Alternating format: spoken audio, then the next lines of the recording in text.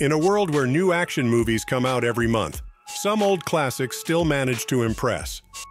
Even though they were made years ago, these films continue to entertain and excite viewers today. Here are 10 old action movies that still hold up in 2024.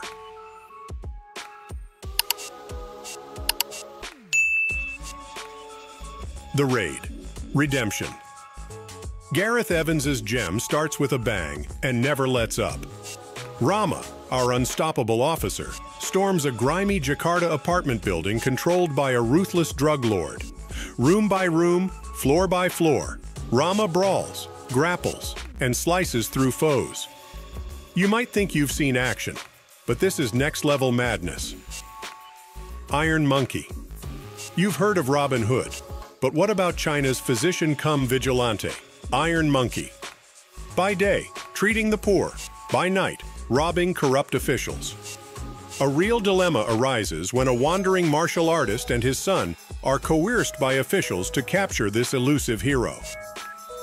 Ong Bak, the Thai warrior.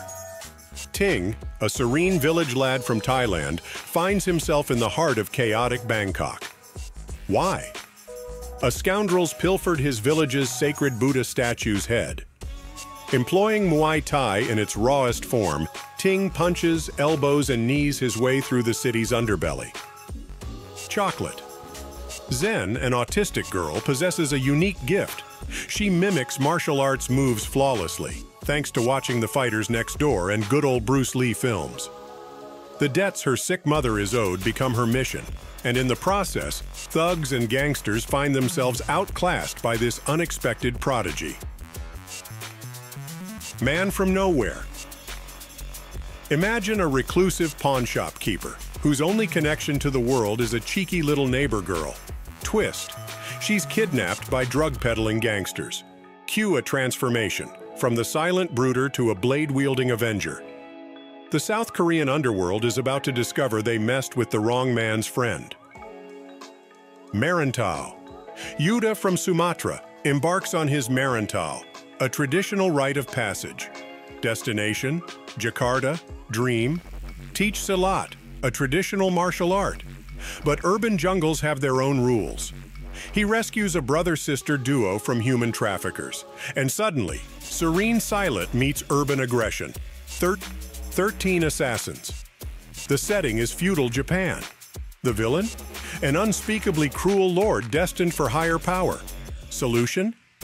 A seasoned samurai assembles 12 warriors for a suicide mission, assassination. The climax? A heart-stopping, village-transforming 45-minute battle royale. The night comes for us. Once part of the Triad's elite enforcers, Ito's life takes a 180 when he spares a young girl. Enemies sprout overnight, every assassin aiming for his head. The result?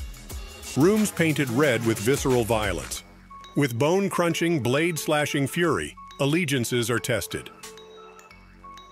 Kung Fu Hustle Step into 1940s, Shanghai's Pigsty Alley, a slum under the absurd rule of an obnoxious landlady and her henpecked husband. Add a wannabe gangster Sing, trying to impress the notorious Axe Gang. Now mix in unsuspecting slum dwellers who turn out to be kung fu legends in hiding. Epic battles ensue. Coolie versus musicians, tailor versus assassins, landlady versus pretty much everyone. An uproarious fusion of comedy and combat. It's silly, it's serious, it's Stephen Chow at his finest. Lady Snowblood.